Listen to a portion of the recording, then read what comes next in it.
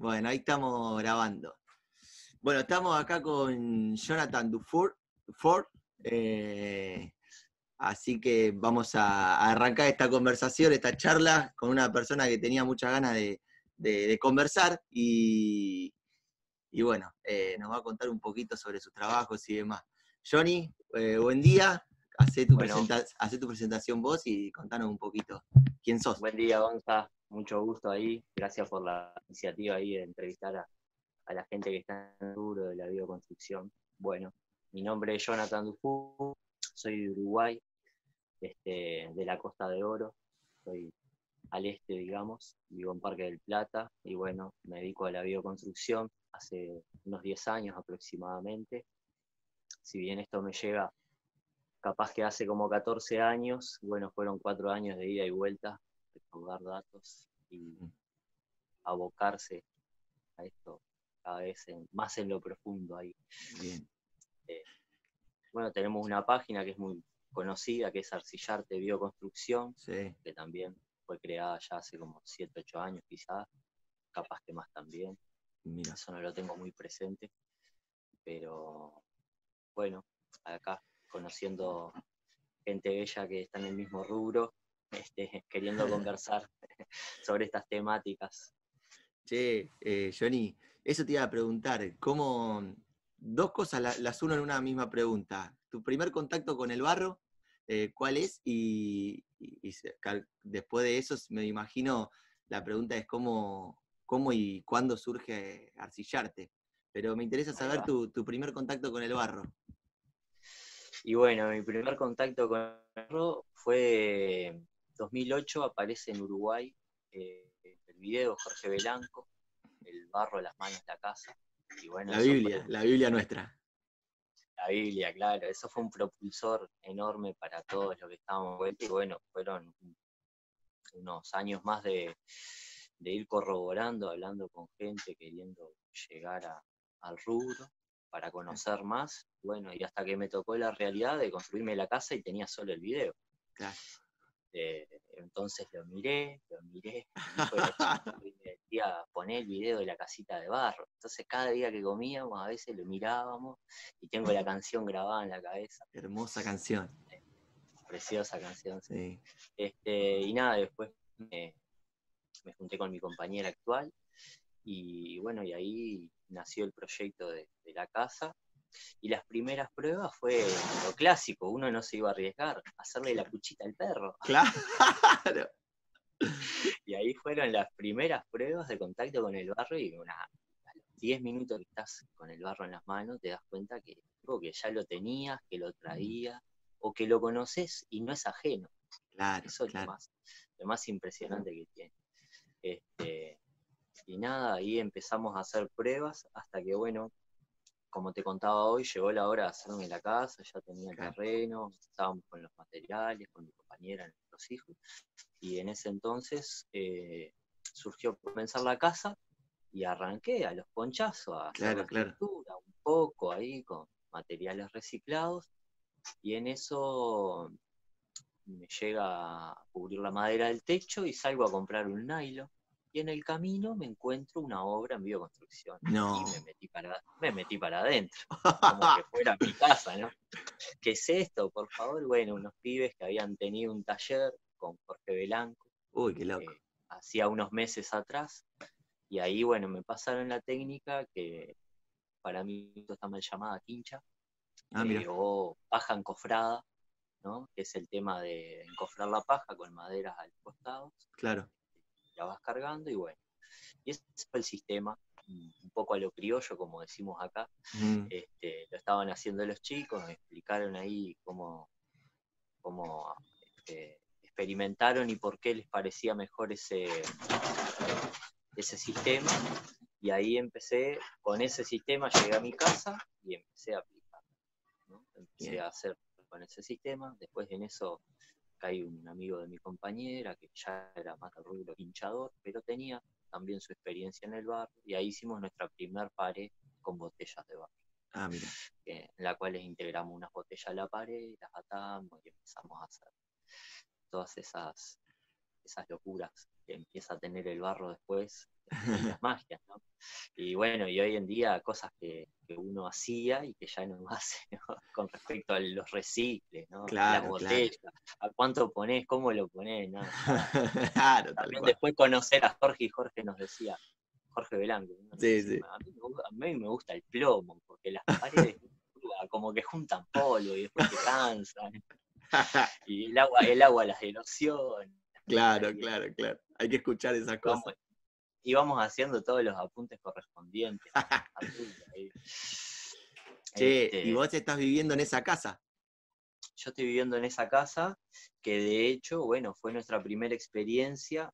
Este, la casa partió siendo eh, un recicle muy grande. Este, anteriormente a todo esto yo fui carnicero, cinco años. Ah, mirá. Algo ilógico. Que bueno, que cuando empezás a laburar tenés un hijo y, me quedó práctico el rubro y bueno, esa cosa de intercambiar con la gente me gustaba mucho, más allá de lo que era la parte de la carnicería, ah. este, el trato con la gente y bueno, el intercambio y de vuelta. Este, Obvio. Bastante social. Ah. Y ahí surgieron este, otros trabajos que después, bueno, fueron tratando hasta que, bueno, surgió irme de la carnicería y en ese lapso que a uno está en el seguro de paro, viste, que te van pagando, ahí me tomé todo ese tiempo para hacerme la casa. Claro. Para experimentar, ¿no? Y bueno, y poníamos un palo un día, el otro día otro, hoy tenemos esta habitación, bueno, pero me parece que falta un cuarto hacia allá, y así fue muy volada, ¿no? Claro, Yo claro. siempre digo, antes de hacerme mi casa, había construido dos galpones de madera y un invernáculo.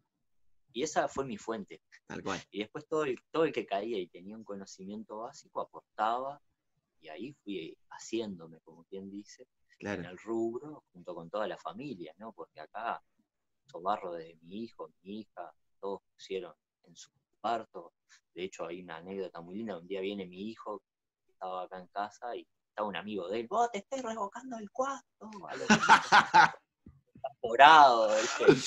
Te hablo 6, 7 años, sus amigos, ¿no? Ahora, ¿qué, ¿cómo el, barro transforma un oficio que, sé yo, no, no, es tan agradable a simple vista? Eh, y bueno, con eso que te cuento de, que había construido un par de galpones y un invernáculo, ¿no? Imagínate una casa. Bueno, ahí empezás a, apuntar hacia dónde querés ir y empezás a ver, y ya salís a caminar y ya las calles se transforman en arquitectura, y empezás a mirar, ay, mirá qué lindo alero, mirá qué lindo. Claro, claro. Y entonces empezás a componer un poco de la arquitectura urbanística actual, lo que uno, yo no lo estudié, ¿no? Me hice en la vida y después, bueno, traté de ir a cuanto curso.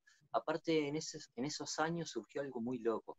Eh, yo me estaba haciendo mi casa y nos conocemos con un colectivo muy grande de gente acá en la vuelta, mm. los cuales frecuentamos la, comparsa Candombe, mm. este, tenemos un colectivo barrial que hacemos una fiestita de la primavera una vez al año, bueno, que se unifica mucho en el barrio y fue como nos fuimos conociendo con todos los vecinos y enterándose de qué hacía este muchacho que salía de su casa y nadie sabía que trabajaba. Este, y bueno, ahí empezamos a, en ese colectivo empezamos a frecuentar por esos años que todos nos estábamos haciendo las casas. Entonces fueron un par de años que todos los fines de semana estábamos en la casa de alguien, levantando una pared, aprendiendo de sistemas, aprendiendo a construir y hermanándonos y, fogueándonos, ¿no? Y ya viendo qué, qué, qué, tipo de, de sistema era el que más te gustaba, el que más te identificaba, el que más rechacé en su momento son los que más me gustan hoy en día. Mira qué loco. Porque muchas veces era, era esa posibilidad de tener el dinero, ¿no? Entonces a mí me decías, comprar, comprar ladrillo, no, para mí era imposible. Yo la paja, barro, lo más rústico. Pero bueno, hasta que aparecen los colegas que te dan la oportunidad, che, quiero que me levantes tu casa con ladrillo crudo, o con ladrillo, entonces uno empieza a experimentar y hacerse parte del rubro y a informarse, porque va, cuando haces algo para terceros no querés hacer un fracaso. Imagínate, las dos primeras casas fueron amigos y yo quería que eso quede claro, claro. porque era algo de mucha responsabilidad. Es un compromiso. claro, y ahí hice un salpicón de muchos libros de, de arquitectura básica, de diseño, la permacultura ayudó mucho porque era un camino el cual ya traíamos bastante y sobre todo este, carpintería, ¿viste? Mucha técnica. Este, y en esos entonces este, conocí una arquitecta que me dijo unas sabias palabras hasta el día de hoy, que fue atento cuando leamos, porque estamos leyendo libros de bioconstrucción de Europa, no es nuestro clima, no, ah. no son nuestras condiciones. Entonces, bueno, ahí viste por qué las personas tienden a reforzar tanto o a aislar tanto, bueno, empezás a comprender y a situarte en el punto de partida, donde vos estás y aprendiendo a resolver con lo que hay en el lugar. Claro, está clarísimo. Por esa vía fue el arranque. Perfecto. Che, y, y recién decías algo que iba a ser una pregunta más adelante, pero ya que lo, comentaste, recién decías que empezaste a ver eh, técnicas que, que quizá ni, no, te gustaban al principio y cuando las hiciste te cambiaron. ¿Cuál es la, técnica que, hoy te gustaría, si tuvieras que hacer tu casa de vuelta, eh, qué técnica harías? Teniendo en cuenta que quizá no tiene que ver con tu, posibilidad hoy, capaz que el tiempo, capaz que... Pero, pero no importa, si vos tuvieras que elegirla y podrías, ¿qué, qué harías? ¿Qué técnica harías? Mira, estoy familiarizado con el Adobe, que era una de las técnicas que no me gustaba tanto, pero bueno, veo en el Adobe, veo esa cosa que ya viene, no estimulo a que todo el mundo se, se haga el Adobe. Bien. Estimulo a que vean como el Adobe como algo práctico a la hora de levantar una pared, porque aplomaste las puntas, claro. con el hilo y puede, el fin de semana no fuiste vos, pero el dueño de casa viene y puede levantar la pared, levantar la pared, un niño, este, un colectivo de gente que no está entendida en el asunto, bueno, puede ir haciendo, echándole al tema. Esa es una. Eh, realmente, si me decís hoy te tenés que hacer una casa y yo meto tres, cuatro sistemas, ¿viste? Porque la quincha, la fajina, es como que te vas mm. familiarizando con todos, ¿viste? Me pasó algo muy loco que también cuando eh, quise empezar a alimentar un poco más a fondo en, el Super Adobe me encontré con dos referentes grandes, eh, maestros, que me dijeron, mira que el Adobe no es Super y no es Adobe. Y bueno, y uno venía de, uno de esos grandes maestros venía de México comentándome algunos fracasos con ese sistema. Pero bueno, es como todo, otro de los grandes maestros que también me dijo eso, me dijo, es una de las formas que también este, uno acerca gente hacia la porque vienen por eso y bueno, y vos empezás como una guía un poco más integral, ¿no? Este, con los sistemas constructivos. Y voy a tocar ese punto que hablaba hoy. Estamos muchas veces viendo técnicas de construcción de otros países, ¿no? que son eficaces y muy buenas, pero para otros puntos cardinales. Claro, claro, ni hablar, ni hablar. Che, y, y yo, una de las cosas que veo, yo lo sigo mucho ahí en Arcillarte en la página, eh, pero lo sigo más que nada porque son de un grupo que comparte demasiado y comparten en detalle, ¿viste? Yo veo que subís una casa o una estufa o lo que estén haciendo en ese momento y acercás la cámara al detalle, de, a, la, cosa que todos pareciera como que se nota que pasaste por ese momento de duda, de decir que, y viste, si no pasaste, capaz que se te escapa por, por alto las dudas que tenemos cuando empezamos. Y a mí eso me, interesa, me interesa muchísimo. Pero la pregunta es, abarcan un montón de cosas. Yo veo que usted, acá lo noté, veo casas, veo estufas eficientes, veo techo vivo, techo recíproco, tratamiento de agua, humedales, las terminaciones de ustedes, eh, son algo que yo me detengo a ver que, es un camino eso, ¿no? Abarca. Es un camino. Es un camino. Mirá, es un camino y algo muy loco. Eh, hemos crecido gracias a los clientes que nos han tocado, porque hemos terminado como hermanos de la vida con cada cliente. Eso es muy mágico en este rubro. Ah. Este, de hecho, la foto de Arcillarte básicamente tiene un techo recíproco, yo lo estoy mirando. Ese techo me, quitó el sueño. Por eso yo lo miro y un amigo me dice, no, hasta ahí que te saco la foto. Ese techo me quitó el sueño. Eh, y bueno, después desplayaremos un poco más con eso. Pero nada, son esos miedos y vos yo sinceramente hoy le digo, mirá, nunca lo hice, pero me creo capaz. Claro. si vos confías en mí, lo hacemos y tal, y lo hacemos al punto de no estar perdiendo tal, digo, no, no hacer y ah, no quedó, lo desarmo. No, no, lo hacemos al punto de ponernos tenaz en, claro. en el asunto y llevarlo a fondo. Y bueno, y cuando yo con el techo recíproco fue el cliente que me dijo, no, no, dale, yo confío, vos me lo mostraste, te paraste arriba, lo armaste, ahora vamos a hacerlo. Bueno, pero y ahí entraron las dudas y nada, y fue levantar el teléfono y volver a hablar con gente más entendida y, reforzar esa fe, esa cosa como pasa con el barro, que uno la trae y no sabe dónde. Y nada, tampoco quiero sacar la guitarra y payar. claro, claro. Es como un poco que uno se va haciendo. Yo creo que los maestros están ahí afuera, como hoy sos vos, este, y, te espejás conmigo. Y bueno, lo mismo pasa con todos en realidad, ¿viste? Es como poner la mano en la espalda y darle con fe. Dale. En parte. Y los rubros los vamos abarcando no porque realmente nos dediquemos a cada uno de ellos de lleno, sino voy a hablar con un cliente, no, te llamo por los humedales ustedes hacen este sistema y bueno, y ahí empezamos a ver si está en nuestro alcance, qué conocemos de ese sistema, si lo podemos aplicar. Y hoy en día, por suerte, ya tenemos, bueno, varios techos vivos, varias casas este, revocadas. Claro. Que mataron directamente para levantar la casa, pero sí para revocar. Entonces, bueno, han sido muchas experiencias enriquecedoras. Igual que también hace unos años para atrás, poder uno financiarse un taller si bien está esa, esa cosa de que nada, que yo aprendo, que fulano va y me lo enseña, pero viste que no todos captamos en su momento las cosas tal cual como son, o, en el apunte se te olvidó, tenés la duda un día y querés ir a corroborar, y bueno, está ese apunte. Y la verdad que fue la mejor inversión, ¿viste? Mm. Porque es la que te enfoca y la que te hace ir más decidido.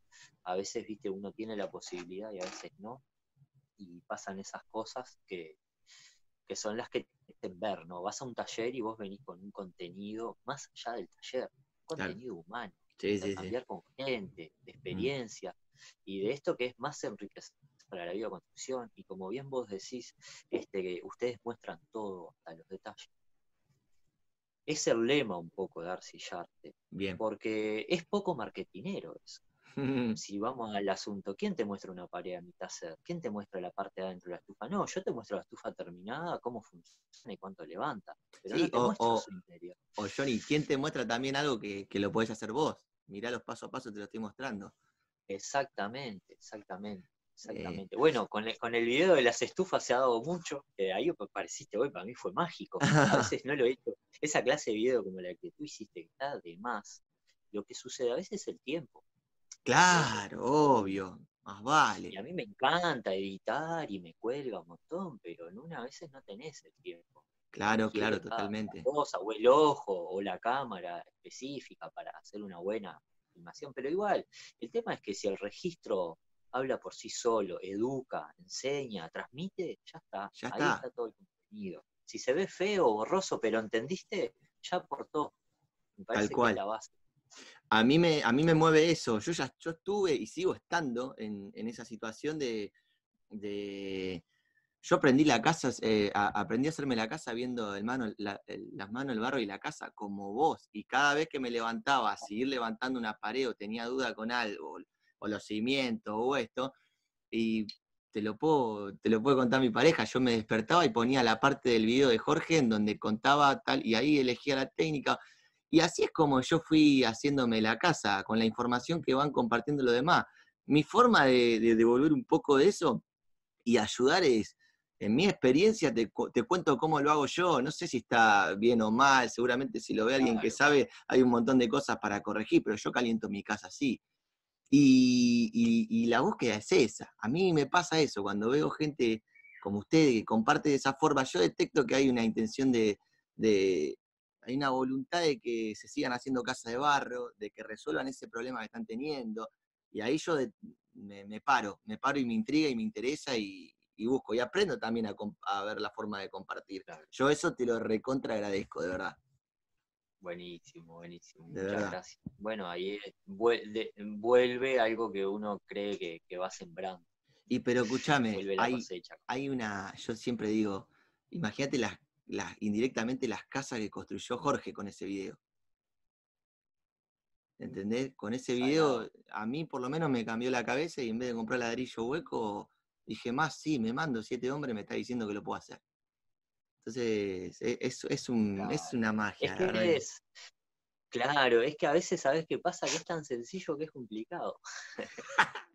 es tan sencillo que es, es verdad. Porque lo dice en el video, ¿no? La, la, tierra está abajo de los pies, ¿viste? Y lo que pasa que a mí me ha pasado con gente renegada que en una toca el barro y no paró más. Chao. Con mi madre, que de hecho toda la vida vivió en casa de barro, cuando le digo, mamá, me voy a hacer una, obra en bioconstrucción, ¿qué es eso?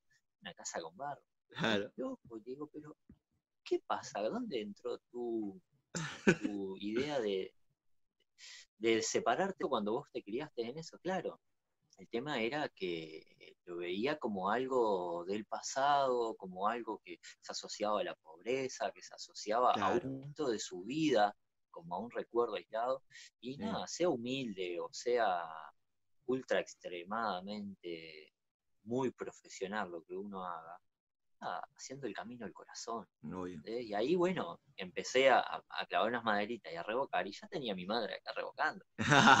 Tal cual. Tal Una, viste, el estás loco se fue invirtiendo porque salía En, el, auto y me mandaba fotos de un techo vivo de allá de Punta del Este, pero claro, y yo decía, pero lo ves bien porque están porque es un lugar este, este high, como decimos acá, de, alta sociedad en una, pero nada, este, es un techo vivo allá, o acá más humilde o más este, profesional, es un techo vivo y está cumpliendo esta función. Tal cual. Este, era, gran parte del asunto. Che, Johnny, ¿te parece nos metemos con las fotos? Sí, cómo no. Bueno, acá estamos eh, en una de las carpetas. Todo esto que voy a mostrar está en la página de, Facebook de Arcillarte. No, no, no, hay nada que no me hayas compartido que no esté ahí. Así que vamos a ver sobre esos videos y al que tenga ganas de investigar más de lo que mostramos acá, que entre ahí, que hay esto y muchísimo más. Che, eh, contame un poco, vamos, yo voy pasando mientras vos vas hablando y, así vamos, vamos, avanzando. Yo voy a empezar con una pregunta sobre lo que veo acá. Yo soy un, por, seguramente por eh, desconocimiento, pero es una pregunta también que, yo cuando me muevo por, el, el, mundo de los que hacemos talleres y queremos aprender, está recurrente. Enterrar palo, ¿por qué tanta seguridad ahí a, enterrar los palos en una casa? No sé los climas del lugar de esta casa, sí, sí, sí. pero acá, por ejemplo, yo no entierro un palo ni loco. Me dura un palo de eucalipto, por más que lo pinte con brea, eh, me durará cinco años. ¿Qué, qué, qué es esa, esa seguridad para enterrar los palos? Bueno, mira, te cuento, acá fue, esta, justamente esta obra que estás mostrando fue nuestra primera obra para un cliente. Bien. Este, es un cliente amigo en el cual íbamos aclarándole los puntos y las dudas que teníamos y armamos un grupo de cuatro amigos que todos teníamos nuestras casas de barro, que nos fobiamos en esos talleres que te contaba anteriormente. Este, y bueno, acá eh, en este terreno lo que surgía es que es un terrapleno, ¿no? que sube hacia arriba, es un médano de arena, un barrio que todos los terrenos alrededor empezaron a aplanarlos, sacaban toda la masa vegetal, aplanaban, y este terreno era el último de una esquina que pegado con, eh, contiguamente venía un monte. Entonces, el sentido común que aplicamos, eh, eso lo agradezco a Jorge hasta hoy día, vos mm. cuando no conozco algo aplicar el sentido común, sabias palabras. Este, y fue un poco enterrar, que en ese entonces los dueños no querían, este, los dueños no, nosotros estábamos muy sensacionalistas y no queríamos usar cemento. Y esta casa no queríamos mover el terreno, no queríamos que venga una máquina y les aplane el terreno porque entendíamos que le iba a cambiar la morfología de toda esa compactación de años. Claro.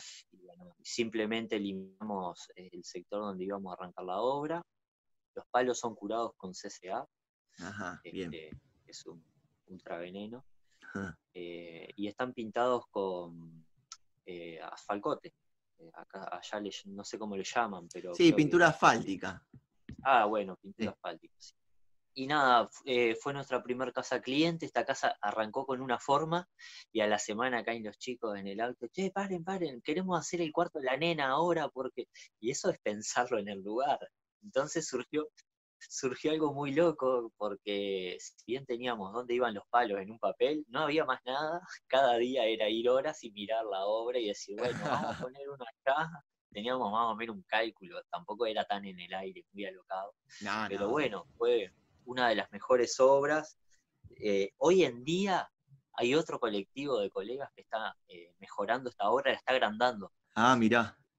Y ya vamos a tener fotos porque es con, un colectivo que surgió compartir obras. Y ahí se generó otro colectivo que después los podés encontrar, son los chicos de Ruca, Ruca Bioconstrucción. Ruca Bioconstrucción. Son, de acá de la costa. Y, y ellos ahora le están haciendo la extensión. Y bueno, y entre los dos colectivos, en alguna que otra oportunidad nos juntamos y formamos un colectivo que se llama Totora. Ah, mira. Que eso no lo, no lo vas a encontrar en red porque son los pocos trabajos que tenemos juntos y ya estamos preparando algo para sacarlo como un colectivo que nuclea a bioconstructores para formar algo vivo y, integral, ¿no? En los cuales no, no es mi empresita o la tuya, sino somos todos juntos diagramando y pensando algo. Este, bueno, esta obra. Acá se ve otra foto, no sé si, vos ya la ves. Sí, sí, sí, es el frente de la obra, sí. Bueno, acá, por ejemplo, esta es tu primera obra, contás. Hay una prolijidad. Sí, sí.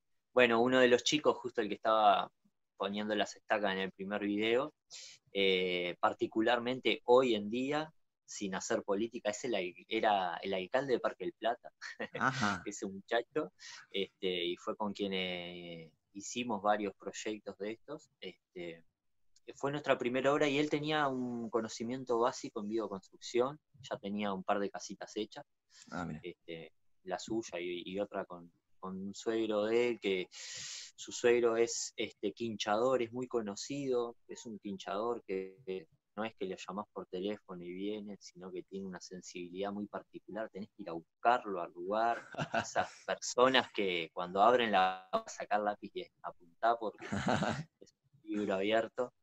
Y bueno, este, fue nuestra primera obra a sentido común. Acá yo no estuve tanto a cargo de la parte, si bien trabajé la madera, no estuve tanto a cargo de lo que era eh, pedido, cálculo de, de diámetros y de dimensiones. Claro. Pero bueno, yo siempre cuento, yo soy del barro, tengo que hacer para llegar a poner barro. Claro, claro. este, como en sentido eh, de joda. Y bueno, y todo esto fue mucho recicle, porque yo tenía una moto y un carrito, todas las cañas de esa casa, hicimos 10 kilómetros en moto, muchas veces eh, teníamos que esquivar a la ley porque estaba la policía caminera en la ruta y yo no eh, iba con un carro y no se permite andar con carro y teníamos que meternos para un monte. Y bueno, así arranca la bioconstrucción, así arranca mi vida. Echaba la moto y no podía ir porque no me daba ni para arreglar la moto en aquel entonces. Pero bueno, fueron unos amigos que nos dijeron, acá háganlo como quieran. Claro, eso está bueno. Consúltenlo, pero ustedes tienen carta libre. Y eso fue lo que nos hizo volar la imaginación aparte y hacer esta obra tan robusta. Che, mirá, ahí no sé si ya te llegó esta, este diseño de abertura con el tronco, va, abertura, paño fijo. bueno, eh, eso fue todo un recicle. Esto es hermoso. De, los troncos de la obra. Sí, sí. Hay uno de los colegas acá, de los amigos. Y aparte hay un enrosque ahí de, embutir las botellas, cortando ahí los troncos. Quedó muy lindo. Sí, que, tengo material que no he subido. Está el momento en que armamos eso, que lo armó este amigo. Ah, mirá. Este, caló los troncos y era perfecto.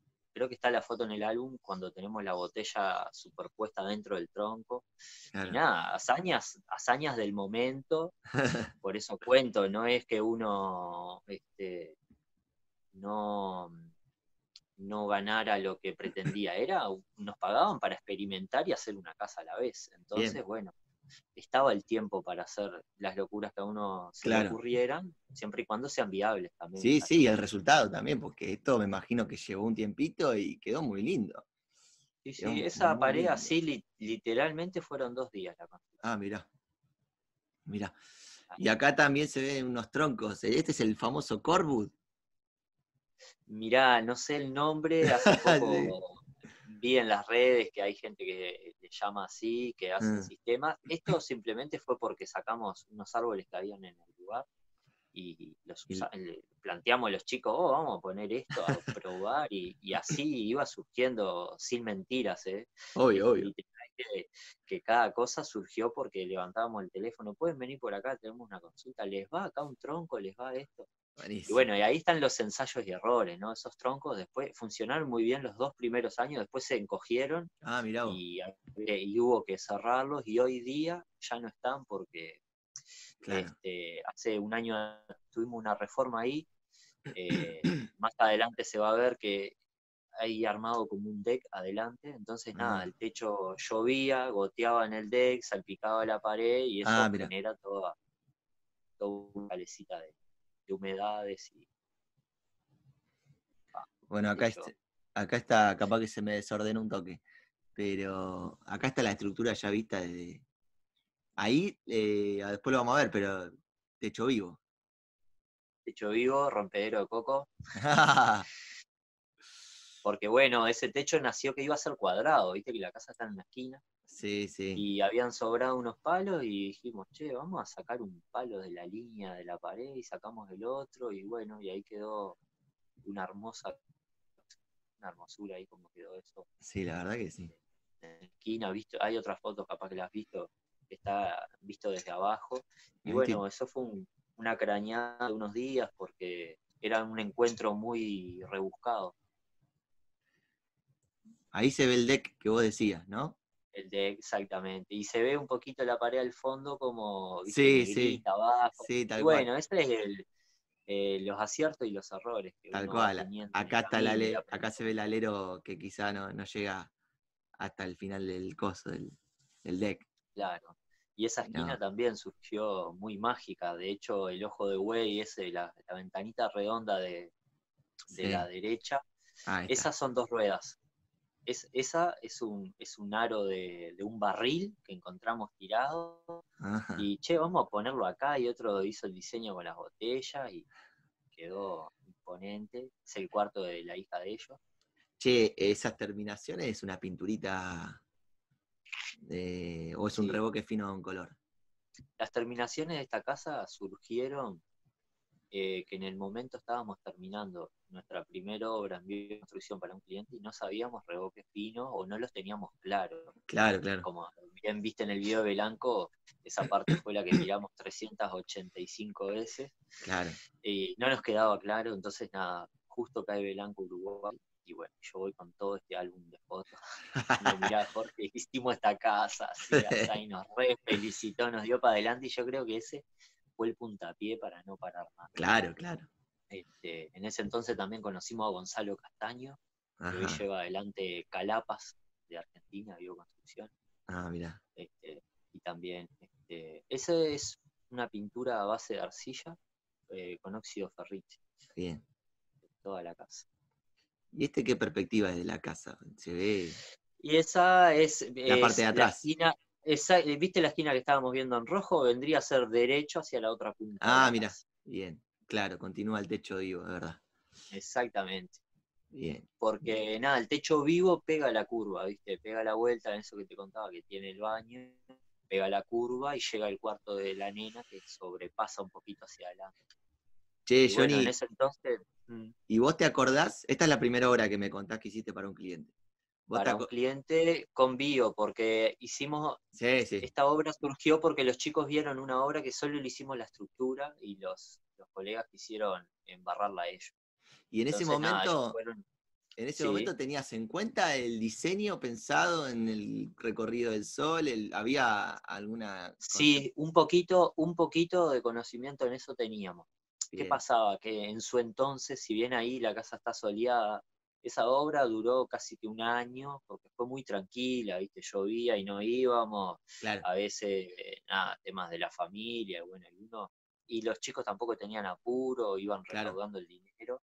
Mm. Este, y en ese entonces la casa estaba dentro de un monte prácticamente. Después, ah, bueno, hicieron unas podas alrededor mm. y, y, ahí surgió la, la mejor disposición de la entrada del sol y Claro. fue mejorando. Está hermosa. Sí, la verdad que sí. Sí, la verdad que sí.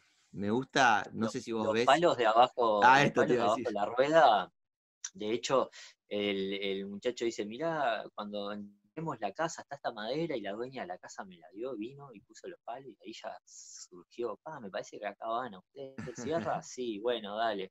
Y arriba de la rueda hay uno en curva, que Sí, acá. también. Ese fue un día que estábamos en el almuerzo y mirando para arriba, che, mirá que el tron, ¿qué te parece si lo bajamos? Era muy, muy así, y agradezco eso, porque hoy en día no tengo capaz que esa visión o ese tiempo, ¿no? Claro, esa claro. soltura, como ya estás un poquito más armado, es más, bueno, comprá esta madera, hacelo así, Sí, pero sí, sí. esta soltura fue muy, muy gratificante, Sí, seguramente aprendimos mucho. enriqueció. Mira esto. Bueno, esos mosaicos los hizo la dueña de la casa, Ajá. eh, y ahí fue mi primera experiencia en ver mosaico. Eh, tenía un amigo que, que había hecho algún mosaico, ya fue, le pasó los piques, cómo se hacía más o menos, y, y me dijo, mira, yo antes de pintar acá voy a armar un mosaico, y yo encantado, imaginate. Claro. Este, y ahí aprendimos el, el arte del mosaico. Está Sí. bastante rústico para la época, pero así, ahí esa foto es re cerca, pero de lejos no sabe cómo se ve de la calle. es A ver si. Ahí está, mira. Ahí va. Sí, Sí, sí. Está re loca la casa. Sí, sí, la casa. La pintura, los colores. sí, sí, sí, es un lindo Mucha experimento. gente me dice, me encanta, es hermosa, pero yo no lo haría ni loco para mí. Tal cual, tal cual. No, pero es una, verlo. es una manera de ver eh, también la versatilidad que te, que te ofrece los materiales, porque mirá cómo podés Claro. diseñar algo que para vos puede ser hermoso, para otro puede ser un, eh, no sé, muy, muy exuberante, pero, Sí, sí, sí, pero sí. te muestra la versatilidad, todo lo que vos podés hacer. Claro, claro. Bueno, ahí ya terminó este, este álbum. Vamos a ir a otro. Acá vemos un techo recíproco, parte de las cosas que decía que ustedes abarcaban, que también lo abarcan por lo que venimos hablando y por lo que percibía, por una, por, por ponerle huevo al asunto, ¿no? Porque Exacto, yo por lo menos, generar- yo soy distinto, yo la pienso, la pienso mil veces y capaz que me quedo en el molde y digo, no, deja, vamos, vamos a ver si. No, cada, cada, cada cosa tuvo su pienso y sí, Eh, digo, seguro. si vos, si vos bien los ves un poco jugados que nos tiramos, no, no, tiene su, su pienso, hoy en día ya tiene eso, que levantamos el teléfono, de Uruguay se, se está queriendo gestar una red de bioconstrucción Ah, y estamos todos los bioconstructores. Entonces estamos Claro. al punto que levantamos el teléfono para pasarnos laburo, gracias a Dios. Y, y- y ahí ese colectivo, bueno, es donde uno tiene las dudas y hoy ya no, no está todo tan oculto o no está todo tan rebuscado que la información tenés que ir a traerla de los pelos. Ya está todo Claro, ahí claro, en la claro. mesa. El tema que sí sucede es que mucha información termina desinformando o generándote un montón de dudas. Entonces Sí. no haces después, porque tenés dudas. Y es como un poco, eh, en el rubro de la estufería lo veo mucho. Una casa, bueno, ya es mucho más grande, ¿no? Mm, Una estufa que está algo chiquito, que la gente ve, wow, hay mil videos, le decís a la gente, pero la duda, la duda, la duda, la duda, sí, sí. o, o el que te pregunta las mil recetas, pero vos has hecho algo de barro, no, no, quiero hacer, ah, bueno, Claro, cuando vos toques vas a aprender. Yo mis Claro. talleres los arranco acá, el que no toca no aprende claro, porque claro. podés llevarte toda la receta, pero si no tocaste la materia, hay una parte que es tu cuerpo, tu, tu sentido, el tacto, ¿no? Claro, Es claro. la que te enseña este, desde otro lugar. Sí, Y bueno, sí. acá este techo recíproco, te cuento un poco alocadamente lo que fue. Conozco a. Marco Aresta, que es mi, soy fans número uno, es mi, Sí. mi mentor, así a quien sigo a, a morir, y veo que tenía techo recíproco y yo no los conocía. A las semanas hablo con un cliente que se quería hacer una casa, me dice, mira, me retiro, me voy a jubilar y me quiero hacer una casita. Y dice, yo hago medicina china, quiero hacer un octógono. ¡Ah, qué bien! Le digo. ¿No ¿Sabés cómo le va un techo recíproco? Te bueno. al dedo. anda, me dice, ¿qué es eso? Y ahí le cuento y lo recerró. Y bueno, y esta foto que vos pones ahora fue la que a él no hubo más dudas. Cuando vi esto, yo me paré, me paré a saltar en el medio de este techo. y después yo, yo empecé a echar para atrás, che, pará, está muy jugado por la altura y que iba a ser un techo vivo también, ¿viste? No, no, no, no. Vos me dijiste, tenete confianza, dale para adelante, y ahí es donde yo agradezco a las personas que se me han claro. Hubiese sido imposible sin la ayuda porque te cuento que ya había cambiado hasta el sistema del diseño del techo. La casa iba a seguir un octógono, pero con un techo a dos aguas, y empezó, empezó a cambiarse por el hecho de mi inseguridad, porque me di cuenta en una, digo, pa, qué jugado, pero ya tenía este, maquetitas armadas por todos lados y había hecho, y bueno, y hasta que armamos la estructura para hacer el piso, y esto está a esa altura, ¿no? Esto no está arriba. Claro, claro, estás probando ahí. Entonces ahí fue donde vimos qué altura, porque tampoco vos buscaste hecho recíproco y no es que esté toda la data puesta en internet. Vos tenés que deducir una parte. Y otra parte, eh, la geometría y las matemáticas. Y ahí yo me sentía que carecía de esos conocimientos. Mm. Y bueno, empecé a hablar con otros amigos entendidos. Mm. Y ahí fue donde nos, nos fobiamos, nos dimos para adelante y el cliente, manito en la espalda y dale, dale, dale, dale, y lo hicimos. Claro. Y ahí salió ese techo vivo que tiene un camión de 8 metros cúbicos de tierra arriba. Wow. Wow. Es impresionante. En un comienzo el, centro iba a ir abierto, y también, como no dábamos con los materiales apropiados, el dueño decidió cerrarlo. Ah, mira. Eh, dejar el techo abierto también iba a requerir eh, conseguir determinados materiales para que quede totalmente hermético. Y bueno, se llegó, era, era un invierno, me acuerdo.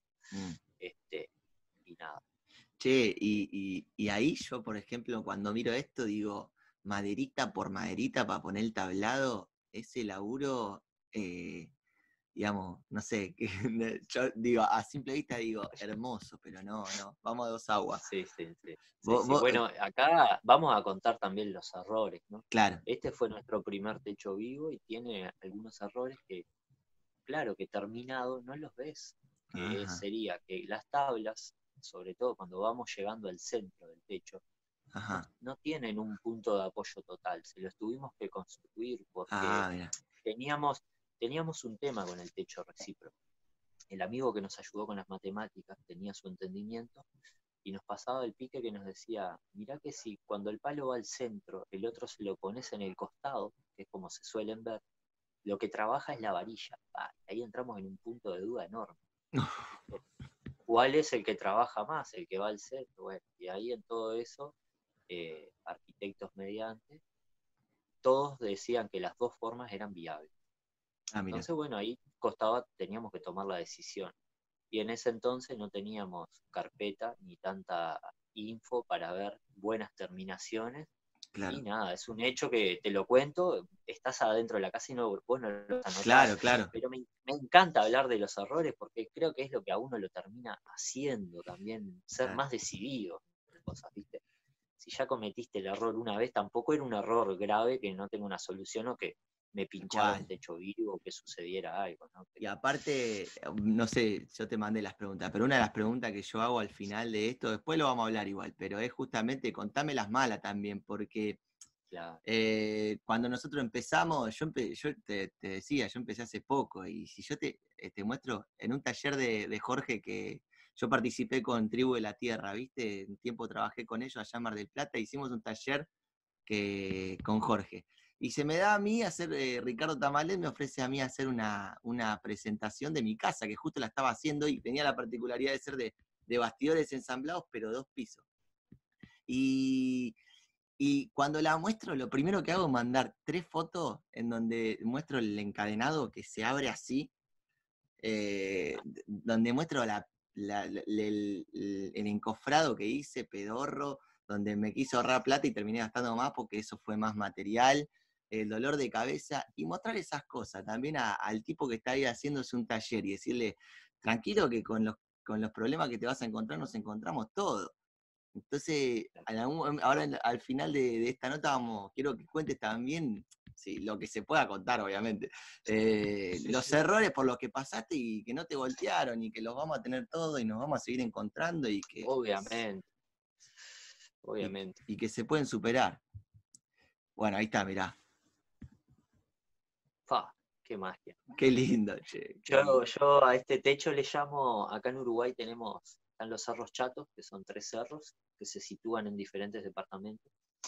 Y hay uno de ellos que se llama Batoví, y tiene como esta formita, es un cerrito chiquito, ¿viste? Donde habitaban las culturas originarias de estos lugares, los charrúas. Y el mm. Batoví, y se llaman cerros chatos porque el centro es como llano, ¿viste? Sube, sube como un hormiguero y está planchado. Claro. Ya una, unas, este, ya hay, como también unas historias más alquímicas que, se dice que había unas ciertas naves en esos cerros antiguos. Ah, bien. perfectos por eso. Pero bueno, eso ya entra en otras pistas. este, a mí me encanta llamarlo Batoví por, esa, cosa, es hermoso. Che, ahí pusieron este champas, pusieron o, creció el pasto tirándole. sí, sí. No, no, pusimos, pero nos agarró un invierno muy duro, eh, de mucha agua y mucho frío, y quemó el pasto, y esto ya llegando a la primavera, cuando vuelve a reverdecer el techo. Ah, bien. Qué prolijidad. Y este techo, por, e, por ejemplo, le dimos la terminación hace un año atrás. Ah, mira vos. Eh, porque viste que, por ejemplo, tenemos esta particularidad que después también la podemos hablar más adelante, que nos gustan los techos vivos con drenaje libre, que es un, es otro concepto, que nada más viste que todos los techos vivos tienen los desagües, los hacen ir hacia un lugar que tienen un caño hacia abajo y vos perforás el techo. Sí. Bueno, a mí no me gusta esa parte de perforar los techos, me parece un poco riesgosa, que siempre tenés que usar ya silicona y otros materiales industrializados que no me van tanto. Y ahí prefiero poner un ángulo, como quien dice, y dejar unos centímetros de separación de abertura, que es lo que se ve ahí salir el nylon y se ve un poco la piedra. Esto acá. Y bueno, eso, Claro, y eso hoy día nosotros lo que hacemos es poner dos tablas del lado de afuera, cerrando lo que es la estética. Vos ves un marco de tablas y tiene un, gotero también, particularmente una babeta que se pone para que la gota no vuelva hacia adentro. Mm. Que esto me pasó con el primer álbum de fotos que, viste vos. Me pasó que íbamos a hacer el techo vivo y cae un amigo del, dueño de la obra y dice, esto está mal. Viste, el loco como en duda. Y me llama un día, Jonathan, el muchacho me dice que está mal, ¿cómo vas a poner esta tabla así? Vamos a hacer con el sistema básico este que, lleva... Gran error, che, decir esto está mal, ¿no? Eh, gran error. Bueno, sí, ahí venía el cuento en parte. Claro. En otra parte de la casa, cuando fuimos a hacer quincha, que era un, sistema que lo teníamos bastante claro, el loco dijo, no, está mal. Y después vino y nos pidió disculpas dice, no, no estaba mal, yo no conocía. Claro. Y bueno, y con esto sucedió que ante esa duda, no era la duda plantada en mí, en mí se plantó el enojo, pero en eso eh, la duda me hizo abrirme, y ese enojo me hizo abrirme a consultar a otros colegas, y ahí cayó un colega para la obra, que fue el que me hizo ver este sistema de techos vivos, me lo enseñó, se tomó el tiempo, es otro bioconstructor de, la vuelta, Pocho se llama, vive allá en Sauce, en la mm. comarca y en la, tierrita, que son este, lugares de referencia acá en Uruguay en el tema de permacultura.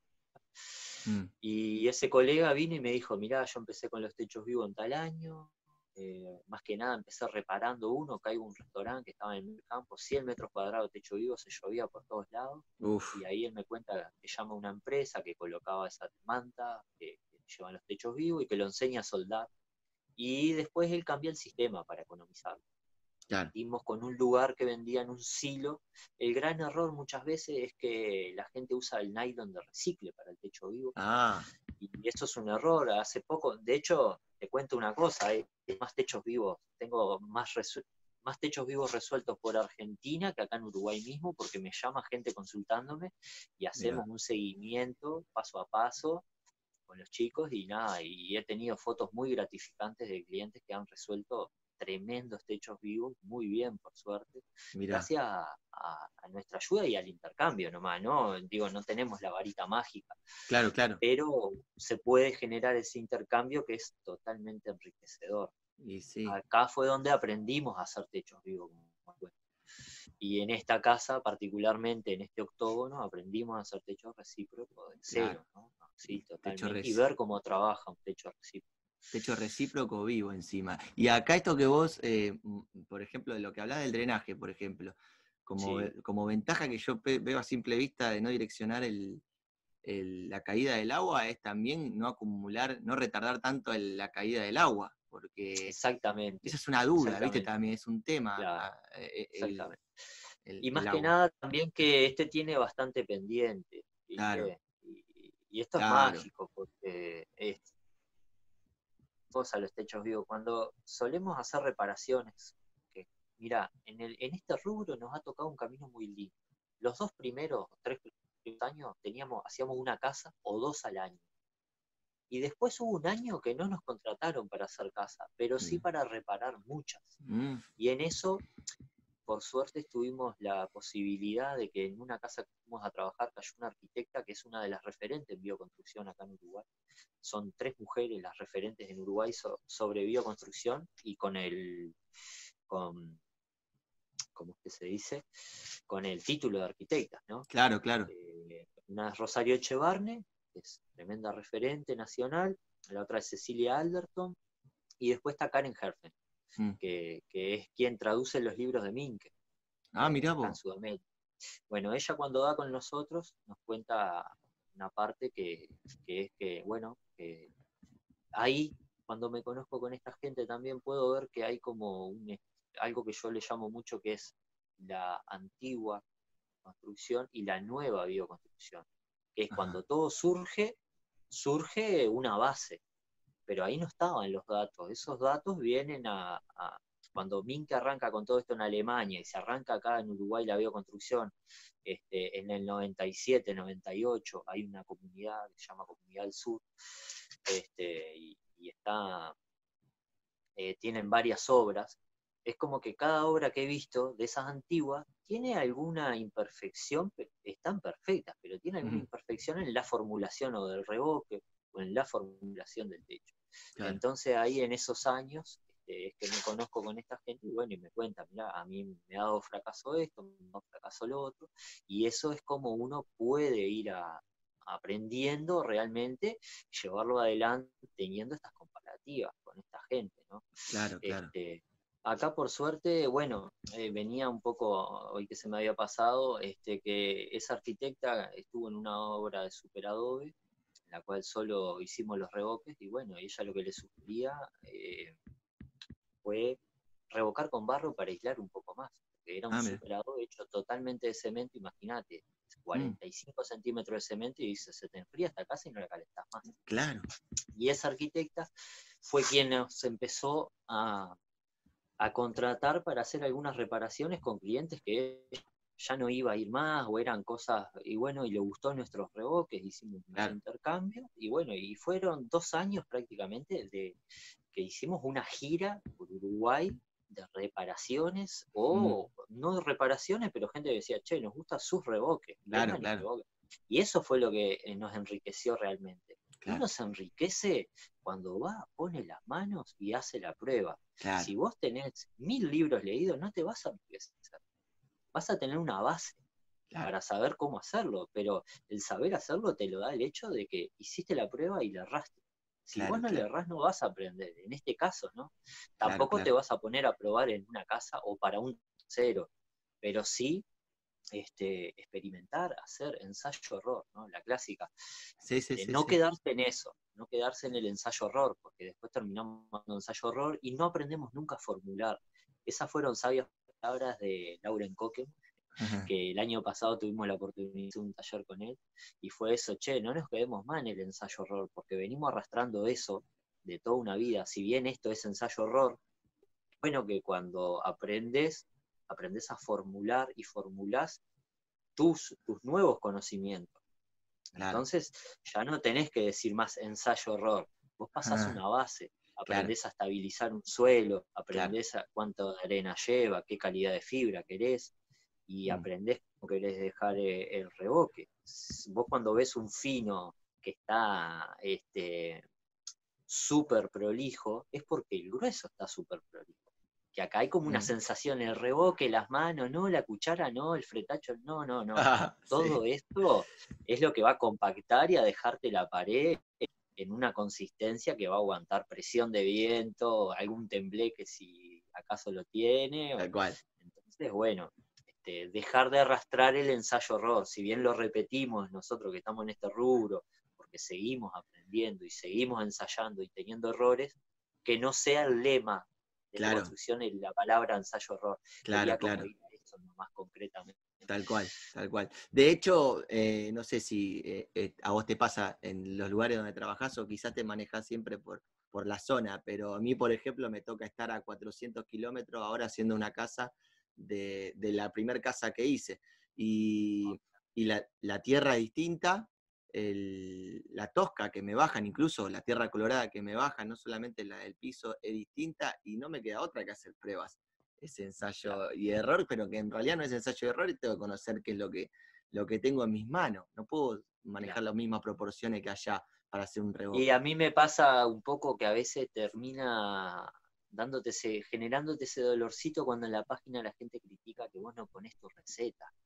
Entonces digo, cuando uno ya tiene un conocimiento básico, sabés que no es poner una receta, porque yo te doy mi, mi receta a vos y va a fracasar posiblemente porque no sé tu clima, no sé tu suelo, qué arcilla vas a usar como componente. Entonces son un montón de condiciones.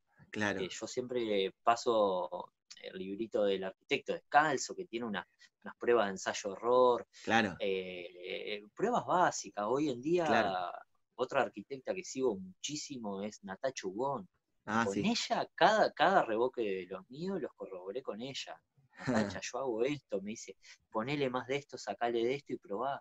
Y bueno, y agradezco que esos mentores estén ahí hoy y que las redes permitan estar en contacto. Claro. hoy tengo una duda y le escribo a cualquiera de ellos, como con Marco Aresta. ¿no? Claro, claro. Este, sí, uno puede agarrar la información, uno puede saber que quizá eh, un parámetro cuando, cuando yo en realidad veo, de hecho tengo una publicación y no sé si la bajé la foto, pero tengo una publicación donde vos haces una prueba de reboque y después contás el detalle, inclusive la preparación, cómo lo, preparaste. Lo cual, desde mi punto de vista, sirve como un, para un parámetro, por esto que vos estás diciendo. Digo, tengo en cuenta que el chabón le está poniendo, eh, no sé, eh, engrudo cocido por la, situación esta. Y le agrega ceniza porque me dijo que le sirve para eso. Uno puede ir tomando esas cosas y después hacer su prueba. Bueno, y otra, otra cosa que nos sucedió, pudiendo haber estado en un taller con, este referente eh, con Lauren Pokémon es que tenemos una forma de preparar, de, usar los componentes que está errada. Por ejemplo, yo tenía la costumbre, básicamente, capaz que nos vamos de tema, pero como un, yo tenía la costumbre básicamente que cuando poníamos engrudo, teníamos aceite de lino, tenía esta, esta, manía mía que era poner la arcilla cernida por un lado y el engrudo a la arcilla. Con Natacho Hugón nos pasó el pique de que se, hay, el aceite se le agrega a la arena. Entonces, ¿qué hacíamos? Poníamos el engrudo en la arcilla primero, el aceite se lo agregábamos a la arena, eso se llama cremado, ah, y después uníamos los, uníamos los dos, estando el engrudo caliente con la arcilla, veíamos que se ligaba mejor el aceite. Viene este maestro con toda su ciencia de laboratorio y dice, no, cuando tú usas aceite con engrudo, le quitas, uno de los dos pierde su, cohesión, pierde su composición en el reboque. Pa, entonces años de ese error. Como conozco gente que me dice, yo me compré tres bolsas de harina para ponerle engrudo al reboque grueso. Y bueno, y ahí es que entendimos en el concepto de cuando es engrudo, ¿no? Es como yo siempre trato de sugerir los aditivos en la parte final, en el fino, claro, en el reboque que vos ya tenés todo aplomado para poder cargar cosas que te, te, requieren, que vos generes mejor inversión, porque vas a invertir en aceite, vas a invertir en engrudo, vas a invertir el tiempo en buscar ceniza. Entonces todo eso, cuando vos generás una inversión que es otro gasto, trato de que sea el mínimo. Entonces siempre mi sugerencia, me quedé con las palabras de Belanco, no es trabajar a plomo, poner la regla a plomo, pero lo más liso posible es lo que nos va a dar mejores resultados en las terminaciones. Eso es de cabecera, me parece a mí. Cada vez que vos tengas un reboque liso, no la forma de los dedos, que no quiere decir que no se pueda hacer. A ver, no, no. Estás a trabajar por terceros, para terceros, te das cuenta que es lo más ágil si vos dejaste muy rústico el grueso, cuando vas con el fino, primero que cargas partes que superan a lo que, a la tracción y, y, a la compresión que puede soportar un cuando cargas dos centímetros de reboque, no es lo mismo que cuando cargas todo uniformemente medio centímetro o un centímetro. Claro. Ya no es lo mismo. Entonces, nada, son manias que uno va agarrando. Bueno, Jorge, Jorge en un taller que, participé con él, eh, dijo algo que me quedó grabado. Dice, hay que arrancar eh, bien para terminar más o menos. Eh, entonces... Eso también, acá lo dijo y nos quedó... Claro, y, y, es totalmente así, porque yo arranqué más o menos y en el final terminando mal, que mal no quiere decir que se te va a caer la casa, pero quizá ese reboque te, va a llevar tres días más de lo que te tendría que haber llevado, por estar tapando huecos que quizás en un día del laburo anterior lo hubieras hecho bien y, no llevaba más que eso. Acá nos pasa algo, básicamente, que viene similar al caso que vos nombrás. Nosotros vivimos en la playa. Ah. Eh, entonces, eh, cualquiera hace un pozo y tiene arena. Claro, es lo más caro acá. Ah. Es lo más caro la arena. El barro por darte una referencia, te sale un camión, dos mil pesos uruguayos, y la arena, para que tengas en cuenta, te sale el doble. Ah, te sale casi cuatro mil pesos, y no un camión, ojo, unos metros cúbicos. Claro, claro. Entonces ahí cambia. Entonces todos acá usamos la arena que le llamamos voladora, o la arena que no es ni gruesa ni es fina, es como una terciada le llama. Y después este, uno aprende a qué, qué textura de reboque querés. Entonces te das cuenta, en, mi rechazo hacia la arena gruesa, es la arena que más trato de tener hoy día, ¿no? Porque es la que mejor se dispone para acomodar los granos en una pared, para, hacer una terminación de un reboque. Y después está el concepto que me encantó que nos aportó Lauren, que nos dijo, ¿no? Eh, el vehículo conductor, que también lo, tiene Cárdenas en uno de sus libros, el vehículo conductor es lo que pega es el agua. Lo que cuando uno pasa el fretacho, eh, eh, lo que hace es acomodar los granos. La arcilla queda atrás, el grano queda adelante, que te ah. protege del agua. Tal cual. tal cual. Y es que por estructura va haciendo una compresión para que tenga determinada estructura y pueda mantenerse de hecho, de hecho a mí por lo menos las pruebas que yo hice acá de fino para ver la tierra y demás, va, de fino no, de reboques. Em, te das cuenta que el, material que tiene más arena es el que más aguanta el embate, más se queda pegado en la pared. Y el barro es lo primero que se va en la lluvia, es lo primero que abandona el, partido, digamos, y la arena está ahí aguantando. Tal eh, cual, tal cual. Ahí Lauren, por ejemplo, durante el taller, este, hizo una prueba que nos dejó a todos de boca abierta, que fue empezar a probar con pedregullín, que es como una piedra chiquita, imagínate piedrita de playa, dice, bueno, denme un balde con piedra y agua. Y el tipo agarra, pone agua a la piedra, la tira contra la pared, no pega. Arena más fina, pácate, no pega, más fina. empezó a pegar. Empieza con los carbonatos y los talcos, se pegó y hizo un reboque de agua con arena, con áridos sin arcilla, sin cemento, sin bosta, no había ningún ligante. Entonces, ¿qué es lo que liga? Y ahí, al final del taller, a la semana, hizo una prueba con ese reboque y no podíamos creer la resistencia que tenía. arena, arena sola, sin ningún material ligante. Y bueno, y ahí es como uno aprende en base a que viene alguien y te desglosa un laboratorio entero. Claro, claro. Y ahí está el concepto de lo que uno cree que, es, que va entendiendo y a, lo, y a, y a lo real después, ¿no? A lo que es realmente cuando tenés a alguien que metió todo en un laboratorio, lo desglosó y te, armó una receta específica. Entonces ahí entramos en la parte de la formulación, porque formulaciones hay miles, pero ¿cuál es la que te gusta? ¿O cuál es la más viable para el clima, para si tenés alero o no tenés alero? Claro. Interior, exterior. Entonces hay un camino ahí. che, mira, acá estamos viendo, no sé si vos ya la tenés ahí, eh, esta es una casa de terrón. Tal cual. ¡Qué aventura esta! es, uno de los sistemas más tradicionales de nuestro país, el terrón.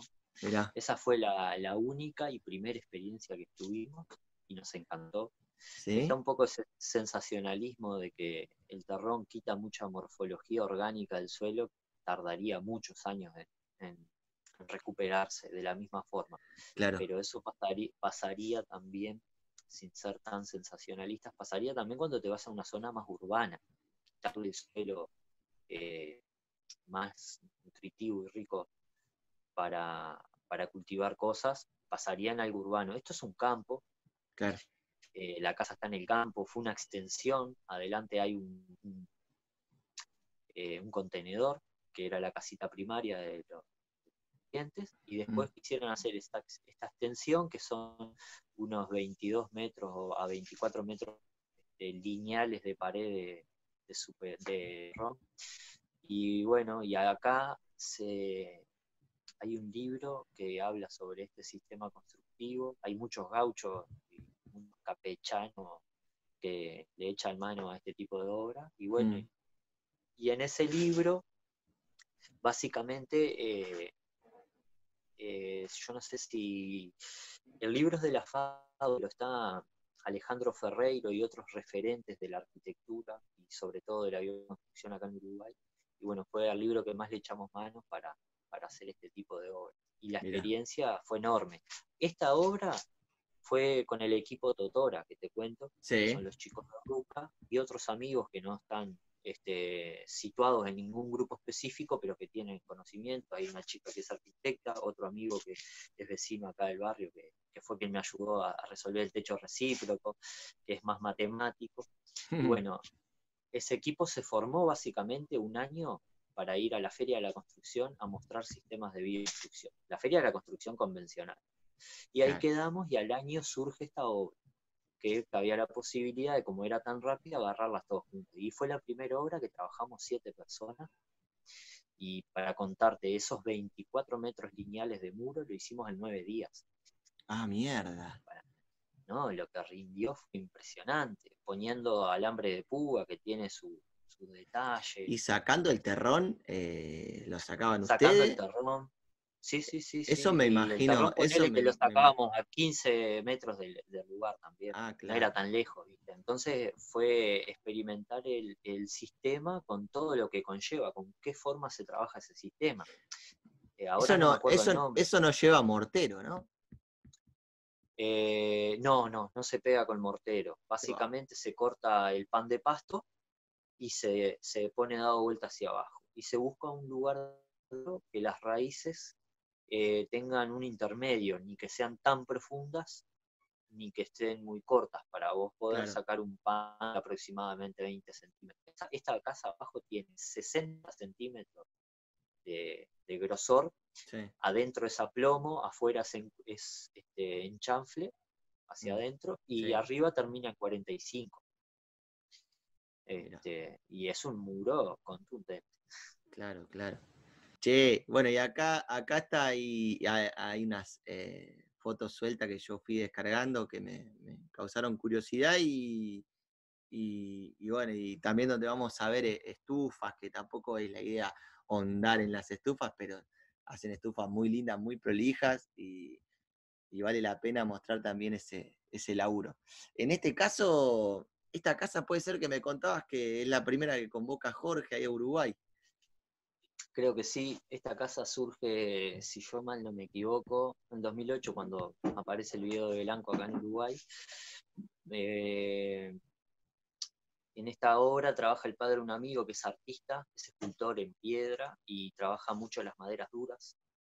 Eh, y esta casa concretamente es el atelier de, la hija de Páez Vilaró, no recuerdo su nombre ahora, ah, este, y convoca a Belanco allá por el 2008 a venir a Uruguay, y bueno, y ahí no sé también si es una de las primeras veces, pero por lo que había entendido en su momento sí, una de las primeras veces que Belanco visita Uruguay, y bueno, en la cual enseña sistemas varios, y nada, y deja esta obra de arte que, está inmaculada, es una hermosura de obra. es hermosa. Eh, mucha gente ha ido hasta ahí a visitarlo este, también el, el, centro ese en el techo que se ve, en la hermosa, este, creada por Gustavo, este padre, este amigo que es un artista espléndido.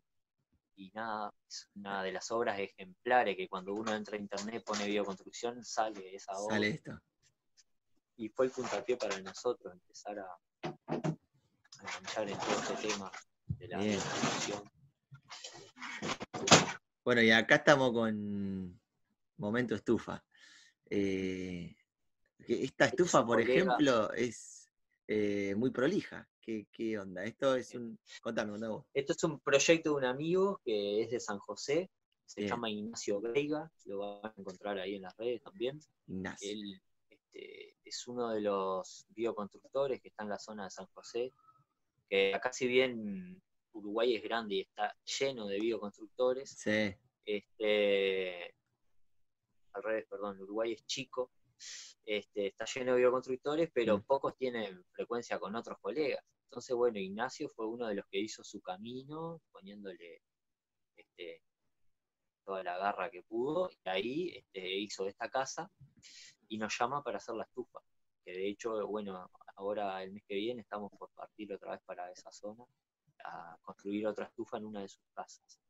Y esta estufa básicamente nosotros hicimos lo que es la construcción de, la estufa en sí con el sillón y el sillón que tiene el banquito al costado, que se ve que tiene como una bóveda. Acá. Como medio punto ese mismo. Ese. Ese no, no es un banco que tenga calor de la estufa. Bien. Pero bueno, queda lindo para tener un banco más cerca de la estufa y poner la leña debajo. Claro. Eh, y él, en este caso, fue quien la terminó. Esa terminación se la dio él. Mm. Es un trabadillo.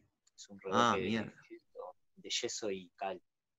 Qué lindo. Y fue una de las primeras pruebas, porque también entendemos que cuando uno hace revoques rígidos sobre estufas que con el calor dilatan y contraen bastante, este, uno prueba a ver cómo se comporta. Cuando uno parte de un revoque de, una terminación, si vas a hacer un revoque a la cal, básicamente ya partís revocando lo grueso con cal y los áridos correspondientes para terminar en un revoque rígido. En este caso, eh, tenía una imprimación de barro, que es un revoque elástico, que me gusta llamarle, mm. y después se hizo un revoque rígido arriba. Entonces, nada, es una especie de ensayo para ver cómo funcionaba y hasta a los hechos ha funcionado muy bien, nos han enviado fotos y nada, alguna cuarteadura sobre el metal de arriba, que sería lo normal, porque se pegó el revoque al metal, pero si no se hubiese pegado, funciona perfecto. Y nada, es una muy hermosa estufa que la vamos a ir a visitar el mes que viene a hacer unos jueguitos. acá... está nuestra primera Rocket. Primera Rocket. Esta, esta estufa está en el octógono que veíamos hoy.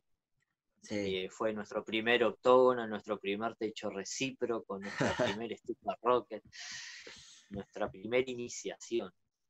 Este camino de las estufas tiene esto, que uno, la, la J es una historia del corazón, es el primer acercamiento de uno con una estufa y entender cómo funciona el calor, el fuego. Sí, sí, sí.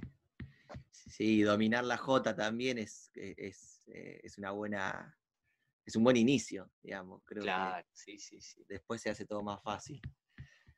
Mira qué lindo esto. Bueno, esa es una experiencia que surgió eh, ante el ir a construir, íbamos a hacer una J con, un taller, con los dueños de esa casa, y cuando llego al lugar veo que el lugar era muy grande, muy grande, muchas aberturas, de hecho de donde yo estoy sacando la foto hacia atrás mío hay una, una arcada de dos metros y hay un pasillo grande y la señora tiene su peluquería, y es como un salón. Entonces me parecía que una J, que hoy en día que entendemos un poco más sus limitantes, en el tamaño no les iba a cubrir las necesidades de, de calefacción que requería. Y, y tenemos el conocimiento de que este modelo, si bien no tiene compleción completa, porque no, no está regulada su entrada de aire, básicamente tienen interesante bombeo de calor. Este, y, es como, yo le, a mí me gusta llamarle, esto es una estufa hogar mejorada. Porque tenés la versatilidad de tener la radiación rápida por el tanque. Es otra de, las esencias de la estufa que es ver el fuego, que mucha gente hoy predomina más en ver el fuego y no tanto en la eficiencia, pero yo creo que es por una falta de conocimiento a veces. Y la acumulación en el banco de masa y nada, fue nuestra primera estufa abierta y exitosamente. Y una buena propuesta porque fue decidido en el momento que estábamos ahí también, que fuimos a construir la estufa y, empecé a, calcular todo eso. Esto está en Santa Lucía, queda unos 70 kilómetros de mi casa. Este, y nada, en esa cosa que uno ofrece cuando empezás a, conocer sobre las temperaturas, el calor, este, el rendimiento, este, sin desmerecer ningún modelo, este modelo fue el más apropiado para ese lugar. Claro. Fue una buena solución y siempre me encanta aclarar lo que son las funciones completas y todo. Sí, este, me gusta. Perdón, ¿eh? me gusta el, que no se vea el tiraje. No sé, nunca, no sé si alguna vez lo había visto, pero está bueno. Claro, e, es lo que te iba a comentar. Si vos ves atrás del tanque se ve un cuadradito. Sí, acá. Eso era, es un mueble que está la estufa está puesta enfrente a una estufa hogar. Ah, Entonces, ¿qué pasa? ¿qué pasa? El cliente del lado de atrás abrió la estufa hogar y puso una estufa cocina económica, estas que cocinadas tienen hornito y todo, pero rompió lo que era el pulmón. Entonces, ¿qué hizo? Atrás de esa estufa él soldó una puerta de chapa para hermetizar y dejar todo cerrado. Entonces nosotros llegamos con los gases hasta ahí y usaban la salida de la otra estufa. Entonces por ahí es donde podíamos ir el rendimiento de esta estufa. Si los gases ahí llegaban calientes, podíamos prever de que tenía una pérdida de calor. Y bueno, llegamos a calcular 200 grados fuera de la o sea que calculamos que en la chimenea habrían 150 grados allá arriba y ya era, es bastante rentable en tema eficiente. Claro. bueno, para el tamaño de casa y la salida que tenía, fue muy eficiente este modelo. Y acá estas, estas terminaciones, son ustedes son de, enroscarse con, los detalles, ¿no? Determinación. Con los detalles, Sí, sí, con los detalles sí. Acá particularmente el detalle este se lo hizo el cliente. Ah, dijo, déjenme barro preparado y bueno, y acá surgió que, no sé si en otra imagen podés ver que hay una estufa gigante. y bueno, y para ah, esta habitación que era grande, eh, esta estufa eh, eh, le solucionó mucho más que la estufa que era más grande, tiene al lado prácticamente, se ve, esos ladrillos es la parte de la boca que está la estufa al lado. Claro, claro. Y bueno, y él eh, decidió empezar a revocar después su casa de barro y ahí encontró otra otra termicidad, ¿viste? Claro. De repente tenés una casa de bloque de ladrillo y bueno, y la revestís con barro y sabés que te va a cambiar unos 10 grados. Olvídate. Este, te lo cambia inmediatamente. Sí, la humedad y todo ese tipo de cosas que también eh, son un beneficio increíble lo que te da el barro ahí. Ah, sí, sí. Che, y acá, contame, ¿eh? ¿eh? Esta fue la primera estufa BBR de esta temporada. Ah, mira. Este, la casa de unos clientes, arrancó la cuarentena y que acá, viste que en Uruguay no se decretó la cuarentena total. Ajá. Este, entonces, bueno, levanté el teléfono y le pregunté al cliente, ¿usted está de acuerdo que sigamos adelante? Sí, sí, separamos las habitaciones, ¿no? Por supuesto, muy piola la, dueña, y también, y se da esta oportunidad de que fue una estufa que no estuvo a las corridas, que te podés tomar el tiempo, que a veces si está lejos, tenés que hacerla y te vas, y o no la terminaste, o tenés que esperar a que seque para ir a terminar. Claro. Se dio todo el proceso, hicimos la estufa, nos fuimos una semana a hacer otra, en eso volvimos y ya estaba seca, la pudimos revocar, nos fuimos otra semana y volvimos y la pudimos no es el caso de todas las estufas, porque muchas veces vamos, nos quedamos y nos volvemos. Claro, claro.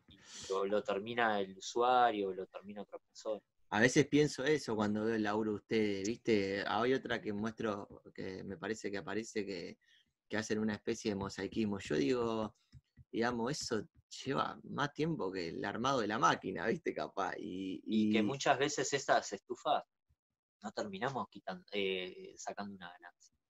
Claro, yo digo, eso, Terminamos mostrando algo para que, bueno, se vea a dónde se puede llegar. Claro. Y en un futuro, es, hoy es la siembra. ¿no?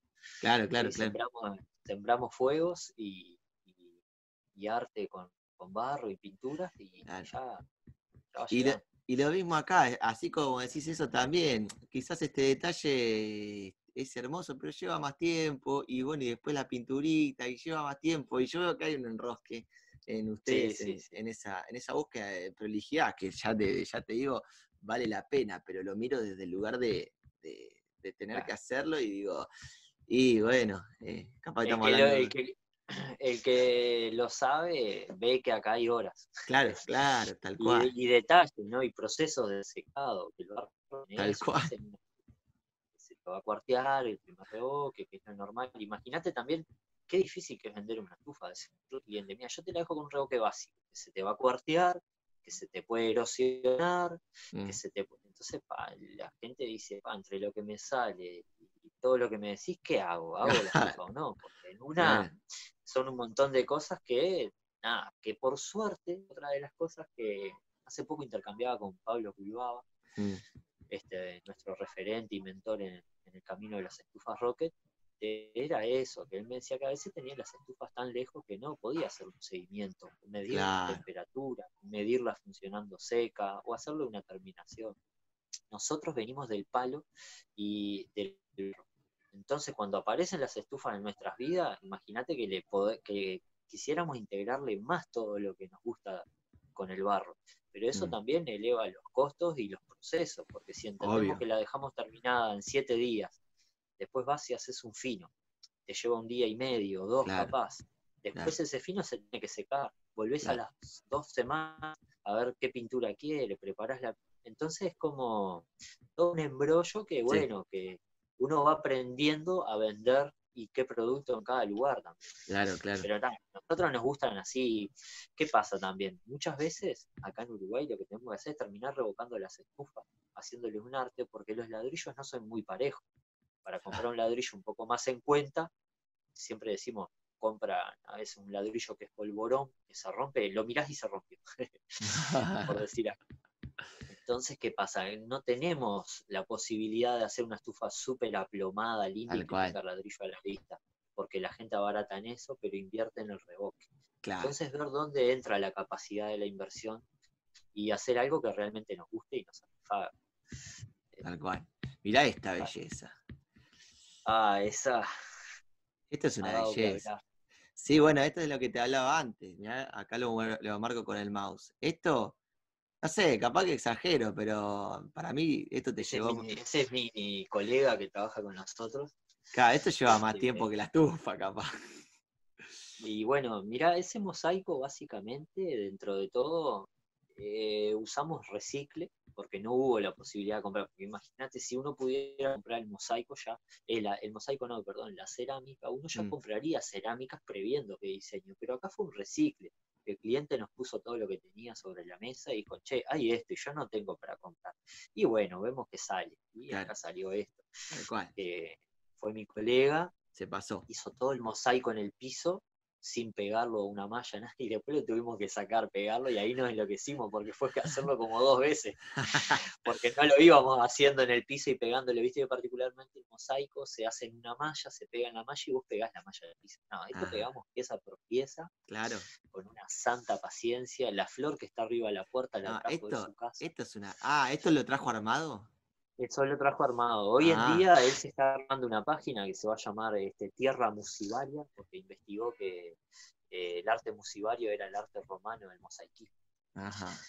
Que viene de esas tierras. Entonces, nada, este, hay que tener ojo, ¿viste? Para cada sí, Mucho eh, amor. como eso, este colega tiene un amor y un ojo enorme en la combinación de colores, en la composición, y aparte, otra de las cosas que, que deja mucho en tela de juicio esta es el palo que tiene integrado a la estufa. Sí, acá. Eso que hay adelante es un palo, exactamente. Y bueno, ese palo está, está envuelto en manta vitrocerámica. Claro. Eh, entonces nada. Pero el que no lo sabe, ¿viste? Por eso también es importante eso que te comentaba antes, poner la foto a media. El proceso, no es claro. dinero. Yo no voy a vender con eso pero creo que voy a instruir a alguien que quiera hacerlo y si tiene esa pregunta, y no es riesgoso, y sí, es riesgoso, pero está este método. Tal cual. Este, Sí, sí, sí, mostrar que, se resolvió, que a simple vista capaz que decir qué peligro eso. Pero en el proceso ves que se tomaron recaudos. Eh, no, pero esta, es, es una belleza, esta estufa. Y acá fue otra de las, de las grandes incertidumbres, era poner la estufa como se ve abajo de la escalera. claro, también. Yo tengo este espacio, el piso es todo de madera, pero ahí él había dejado eh, como el zigzag mismo que se ve. Eh, él había dejado eso en cemento, previendo hacerse estufa ahí. Bien. Y bueno, y la fue bastante bien resuelto para el espacio que tenía y la verdad que muy satisfactorio. Y esta foto de este año le colocaron el vidrio. Ah, mira. Eh, y fuimos a hacerle unos detallecitos más. No, muy lindo. Bueno, acá y ya cerrando, que mirá como, mirá la charla que metimos, ya, ya te, ya te libero. Eh, acá hay una parte que a mí me interesa, que particularmente el laburo de usted, esto de los revoques y, y, cómo para mí ustedes como la, prolijidad y el trabajo que le meten a los revoques, que parece que hay mucho ahí. Eh, y hablar un poquito de eso, y acá también unas pruebas que mostrás. Acá vemos el proceso de, un, grueso, pareciera. Y, que ya de por sí es un grueso prolijo, muy prolijo. Eh, esa es eh, en la mañosidad, agarrando al trabajar, fue lo que aprendí. Y bueno, y esto eh, básicamente también lo incorporamos con este colega que es, Leonardo Martínez, que es mosaicista. Este, él había tenido las experiencias de trabajar con otros chicos acá antes de conocernos y me decía, no, mira, yo con aquellos hago el revoque grueso ya así, lo doy con una llana de plástico o de madera, pero ya lo dejo así. Y me encantó porque era lo que resolvía. Eh, mira, esta terminación, no sé, es, hermosa. Sí, hermosísima, la verdad. Hermosísima. Esto es acá en Rocha, en Uruguay, que tuvimos la oportunidad de conocer al maestro Ramón Aguirre, maestro bovedero, que vino a hacer estas bóvedas junto con Marco Aresta. Ah, es una bóveda esto. Eso, si buscas en el mismo álbum de fotos, lo vas a ver que son este, una bóveda elíptica de 8 metros de largo y después tiene dos bóvedas a los costados chicas. Mirá, qué lindo las bóvedas, ¿no? Hiciste ahí un taller, ¿no? Con Marcos, porque veo en esas fotos. Sí, fue un taller que en realidad fuimos a participar. Esta obra es de unos chicos de, del este de Uruguay, eh, el estudio ancestral, otros de los que más encaran así estudio de arquitectura. Ellos particularmente también le hicieron la casa un músico argentino. Ah, el pelado Cordera, ¿puede ser? Exactamente. Decime, ¿metiste las manos ahí? Eh, metí las manos. En la casa de Cordera no, perdón. Ah. Este, ellos llevaron la obra adelante. Eh, el dueño de este lugar era un chico de Patagonia que se vino con su familia a vivir a Uruguay y ahí llamaron a Ramón y a, y a Marco, porque él era vecino de Marco y parece que en Patagonia ya le había hecho su casa a Marco, y en esta conjunción que está teniendo Marco, una transición de ir cada vez más hacia el tema de las bóvedas, este, es que vienen los dos con, con, con Ramón Aguirre, y bueno, alta experiencia, imagínate, después de años estuvo en Marco y le conté esa anécdota Marco, conocí tu techo recíproco y lo vendí a la semana. y ahí terminamos los abrazos y, agradeciendo la, vida misma. Esta obra es majestuosa, la llevaron los chicos ancestral y convocaron a un taller, todos bioconstructores experimentados ya y de acá de Uruguay, todos ellos. Y nada, Imagínate, cuando fue mi presentación fue decirle, oh, yo sigo a cada uno de ustedes. Claro, Para mí son exaltados en el rubro y nada, este, Después terminamos el taller de bóvedas que duró una semana y a los meses nos llaman para ir a revocar. Mirá qué lindo. Y estas son unas pruebas también que yo veo que vos compartís. La, fórmula, por decirlo de alguna forma, si, se puede decir así. Sí, sí. Pero... Sí, esta fue la fórmula más discutida por el tema que hablábamos de, cómo formular un revoque. Y para, para que conozcas un poco, estos revoques salieron todos a cuál mejor. Solo uno de ellos tuvo un fracaso, que es el único que no tiene arcilla, porque estos son funciones de revoque. Sí. ¿Este? Eh, no, el, del ah. último ya del Ah, está, está. Eh, ese se ve más blanquecino, pero en realidad todos tienen la misma formulación. Es una mezcla con arcilla y cal, y lo que estábamos era formulando con más cal, con menos cal. Claro. una prueba y fueron súper exitosos. Ni yo podía creer lo que logré. Claro, claro, claro. Bueno, cuando en los videos vos le das los manguerazos, ahí se ve el resultado. Todos queremos ver. sí, sí, sí, sí.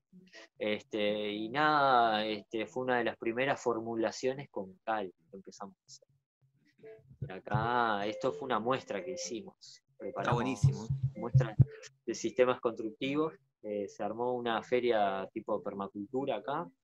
No, un intercambio de semillas.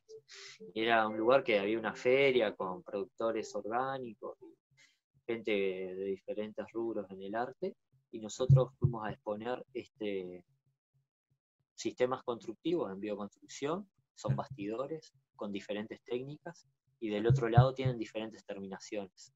Y también los, lo de pintar los adobe era para mostrar la gama de colores que se puede llegar a lograr con, los óxidos ferrites. Y nada, es muy llamativa, muy linda esa foto también. Como está dispuesto para la foto todo. Eh, Atrás se ve, la, se ve la, la, muestra de las la muestra de las pruebas.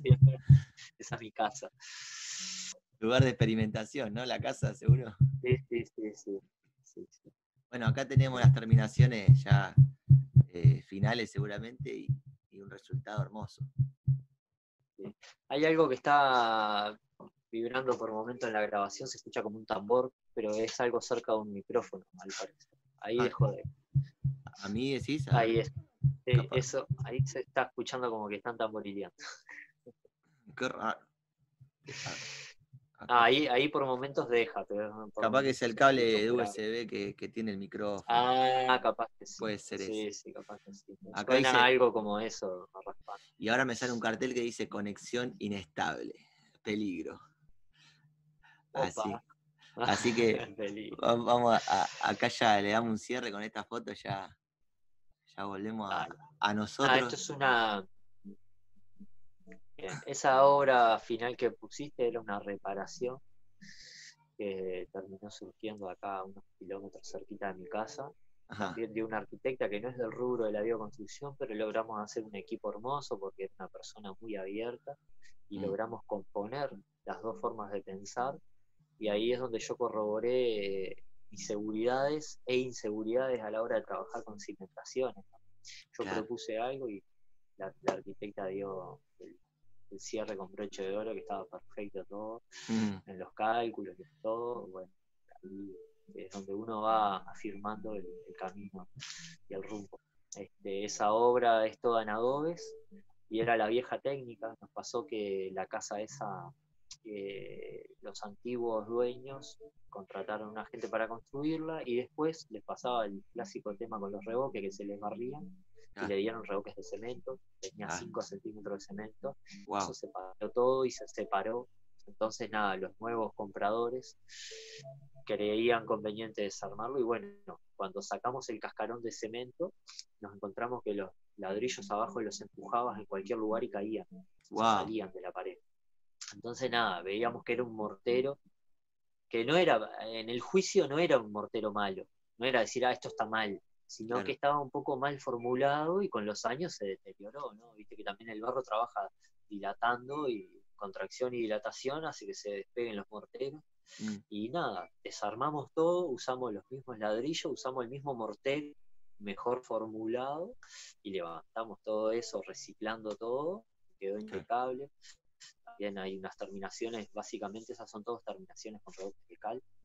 Y lo blanco, la ondulación blanca abajo también es que trabadillo que probamos al exterior ahí. Estamos innovando después, bueno, de, la visita de Lauren, quedamos haciendo varias pruebas con esos bueno. a la cal. Qué bueno, sí, sí. está buenísimo, aparte el, resultado mostrado, eh, nada, que se vende solo, digamos, los resultados. creo que están los antes y los antes y los después de esa hora también, que se pueden ver en los álbumes, pero nada. Sí, están, están, sí, sí, todo lo que vimos, eh, hicimos un pantallazo, porque ya imagínate la, conversación está llegando a las dos horas, imagínate si mostramos todo, no terminamos más. Pero bueno, obviamente invitamos a, los que llegaron hasta el final de esta nota que vean eh, lo que, los, los, trabajos hechos ahí en la página de Arcillarte, que está en Facebook, en Instagram, incluso tienen un canal de YouTube también, ¿no? Que sí, es un, lindo lugar para encontrar información también. Ahí va. Eh, Y bueno, y ya despedirte, agradecerte porque, eh, nada, la, charla distendida, a mí yo no soy entrevistador ni nada y, me sentí cómodo pudiéndote preguntar todo lo que se me, se me ocurría por la cabeza y, eso está bueno. Eso está, bueno, nosotros también nunca hemos dado muchas entrevistas así, muchas charlas tampoco. bueno, fue bastante amena ahí, este, viendo entre casa con el mate de la mañana.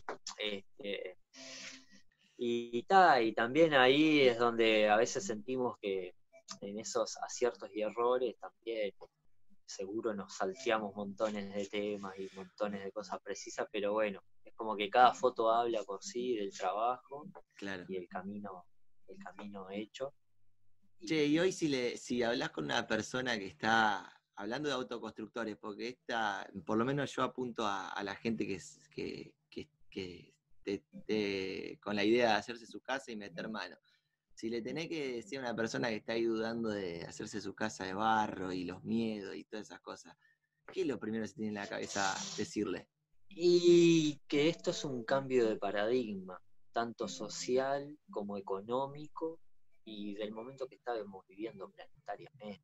Ya no es este, algo que uno lo hace porque solamente colaboras con el entorno, colaboras con tu salud, con la salud de los seres que habitan esa casa, y con una salud social, porque esto de poder invitar a un vecino a que meta mano en tu casa o vos ayudar a otro vecino a meter mano, es la parte que, nos ha ido fortaleciendo de aprender del otro y de aprender del todos haciendo. Me encanta mucho el, lema de, que tiene Pablo Culbaba con su página de estufa, se llama ACON, que es haciendo con otros. Ah, mira. me, encantó muchísimo ese rubro. Y Arcillarte nace porque era componer la parte artística de, del revoque en alto relieve, un mosaico, lo que sea, y la arcilla.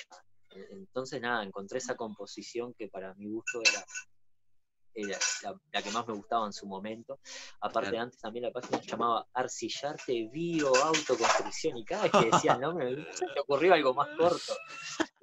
Con el tiempo lo fuimos cambiando, eh, aprendiendo y desaprendiendo. Claro, claro. Pero nada, esto para decirle a la gente que se está eh, adentrando en este camino, que es un camino que va a aprender haciendo, más de lo que va a aprender viendo, que siempre también las sabias palabras de Jorge Belanco, que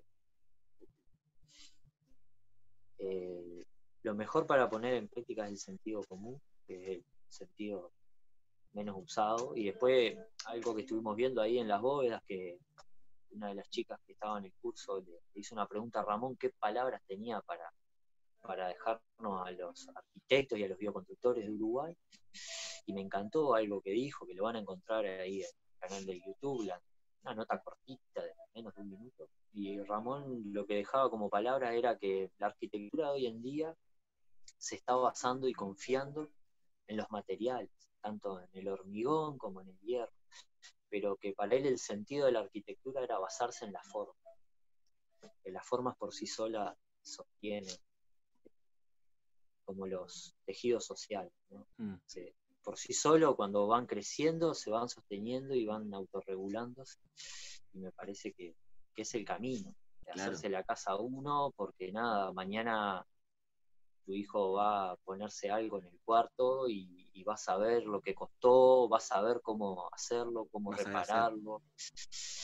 Y, y, va a verlo, más que nada, ¿viste? capaz que el vecino viene un día y piensa que sos un loco bárbaro que estás con barro, pero ya después que probó va a empezar a probar más locuras. Claro, claro, te va a ver como ese loco y después te va a preguntar cuánto le sale hacer un cuartito en el fondo.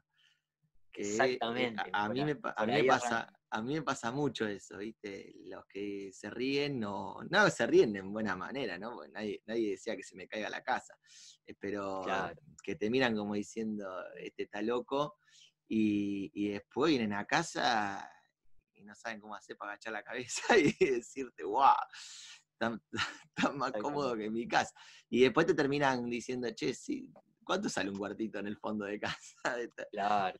Y no, y que muchas de todas estas fotos que vos mostraste mm. han sido posibilidades que han surgido por los clientes. Claro. Que uno a veces este, más que nada cuando sos autoconstructor, hay eh, como el clásico dicho, en casa de herrero, cuchillo de palo, eh, es lo que nos termina pasando. Yo arranqué en esto hace ocho años, hace tres años que me logré estabilizar un poco claro. en, la, en la economía y en empezar a trabajar para terceros requiere de esta responsabilidad y los terceros son quienes tienen a veces la oportunidad de hacer unas buenas terminaciones.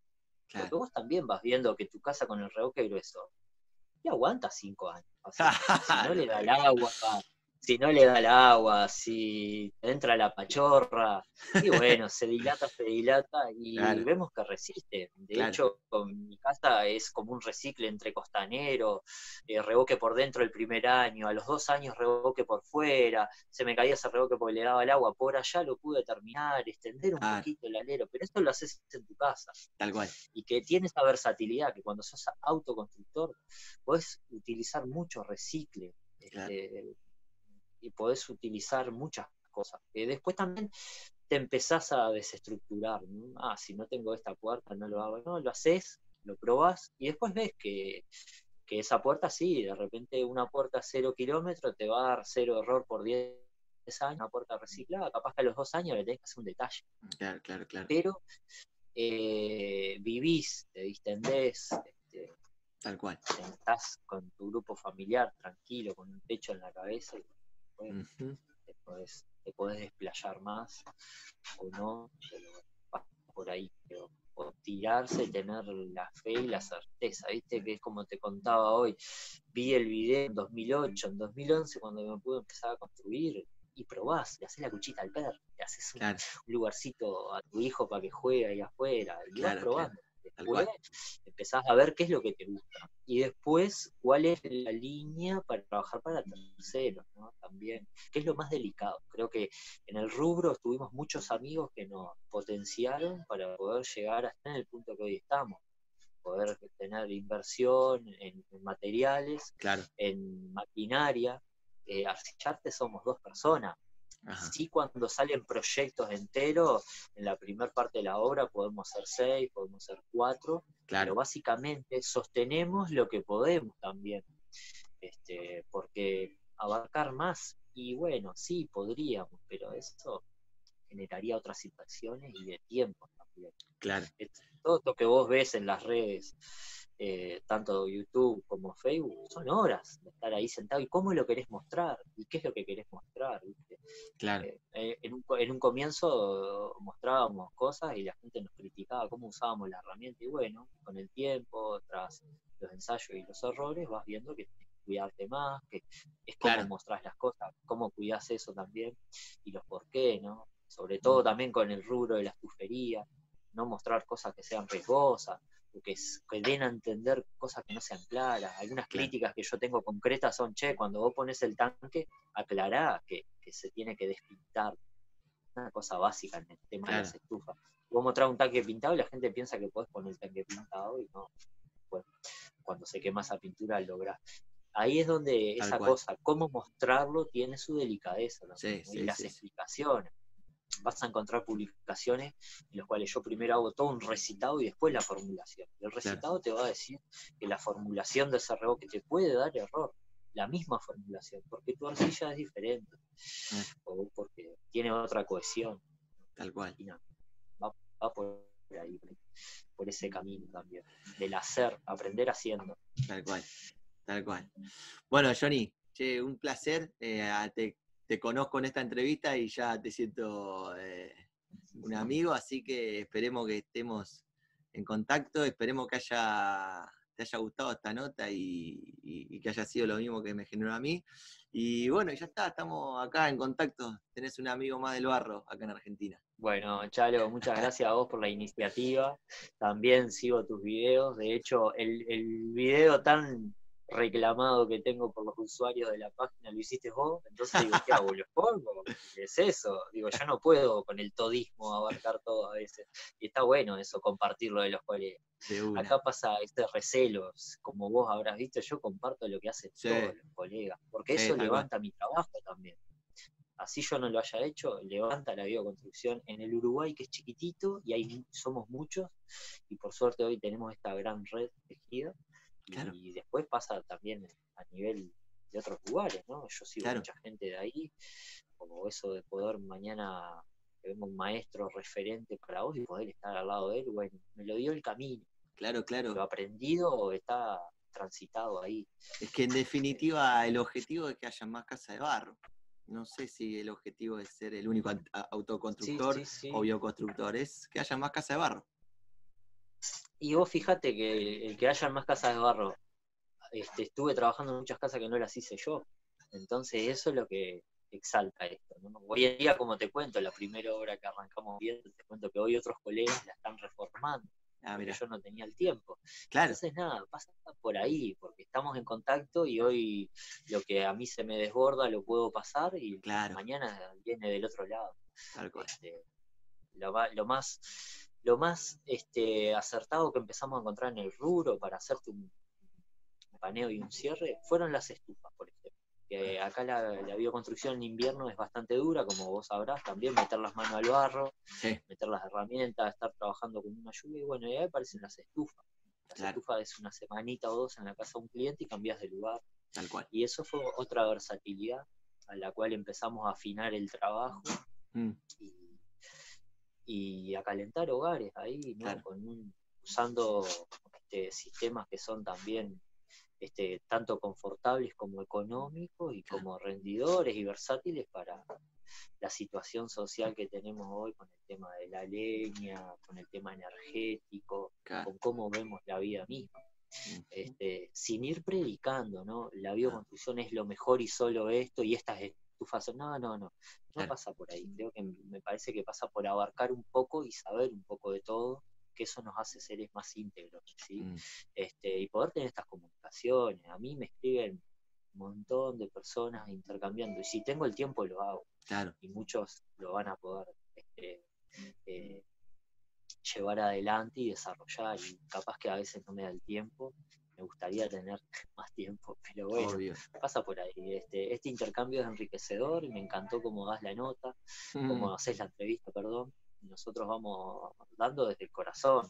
Mañana capaz que mi forma de pensar es otra, como te contaba hoy, en un comienzo arranqué que yo revocaba todo de una forma y hoy en día cuando ves para terceros empezás a ponerte un poco más, vos mejor invertir un poquito más porque vas a tener más durabilidad, porque de los errores se aprende y nada, y aprendimos transitando los errores y los aciertos. Así es que aprendemos de igual a igual, todos somos espejos. Hoy el maestro sos vos por hacer esta entrevista y vos mañana me podrás ver como maestro porque publiqué algo que a vos te sirvió, pero los maestros somos todos y creo que estamos todos dispersos y enaltecernos y honrarnos el uno al otro es lo que nos hace grande y nos va a hacer un camino infinito. Tal cual. Ahí es donde podemos abarcar nosotros me parece que tenemos como, hablamos de ese lugar también porque nos enseñaron indirectamente muchas personas. Vos lo nombrás a Jorge y yo, Jorge, es como mi referencia máxima, no solamente por el conocimiento, sino porque está todo el tiempo pegándote en la espalda para decir, dale para adelante, dale que así funciona, agarra esto y mandale. O sea, ese tipo de, esa manera de, explicar y de, alentar todo el tiempo haciéndote la simple, sencilla y, y para adelante, para mí es, es la clave ya como personas, ¿viste? De decir, dale, dale que va, dale que va, que, que vos mandale barro, que lo único, dale, vos dale, dale. Y a mí eso me, llega.